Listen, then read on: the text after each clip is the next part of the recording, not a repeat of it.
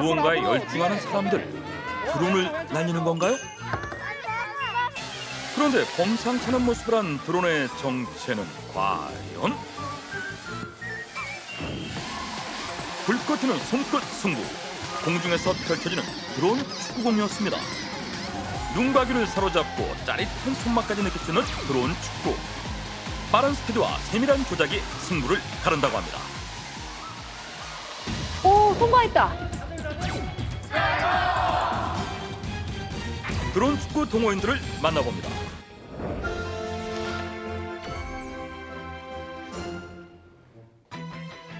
(2016년) 우리나라 전북 전주시에서 처음 개발된 드론 축구 사방에 막힌 드론 축구 경기장 안 우리가 아는 골대와는 다른데요 둥근 드론공이 지상으로부터 약 3m 높이에 매달린 아. 원형 골대를 통과해야 합니다 동그랗네요. 경기는 양 팀에서 각각 5대씩 총 10대의 드론공과 플레이어가 참가해 3분씩 총 3세트의 경기를 진행한다고 합니다. 드론은 직경 40cm의 탄소 소재로 만든 보호장구를 착용해야 하는데요. 다섯 개의 드론 중 상대의 골문을 통과할 수 있는 드론은 오직 한 대뿐. 음. 아, 스트라이커로 치열하게. 지정된 골잡이 드론만이 꼬리표를 달고 골문을 통과해야만 득점으로 인정된다고 합니다. 이건 좀 다르네요.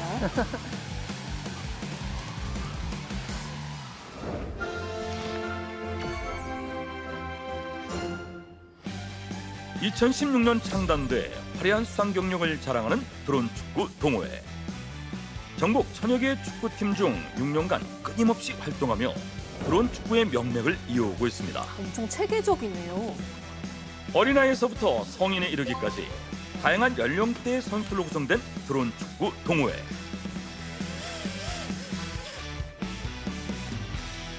드론 축구는 그 드론을 조종해서 비행을 하기 때문에 케이지 안에서 또 연습을 그 경기를 하기, 하고 있고 그래서 나이 드신 분이나 아, 어린 친구들까지 같이 게임을 할 수가 있어요. 몸으로 하는 게 아니니까. 드론 축구를 하기 위해서는 직접 조립한 드론이 필수라고 하는데요. 이건 그 있어야겠네요. 원리와 구조를 이해해야만 경기 중 발생하는 파손에 대해 빠르고 정확하게 대응할 수 있기 때문이라고 합니다.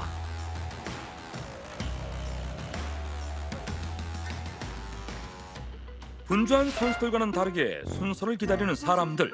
이걸로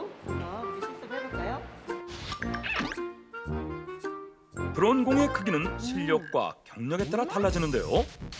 날개 수에서부터 모터와 배터리의 용량, 무게까지도 크게 차이가 납니다. 클수록 어려운 거죠. 드론 축구 선수가 되려면 탄탄한 기본 실력이 뒷받침돼야만 하는 법. 축구에서는 발재간이 우선이라면 드론 축구에서는 빠른 손기술이 필요한데요. 드론을 조종하는 법에서부터 크고 작은 장애물을 통과하면서 기본 실력을 키워갑니다.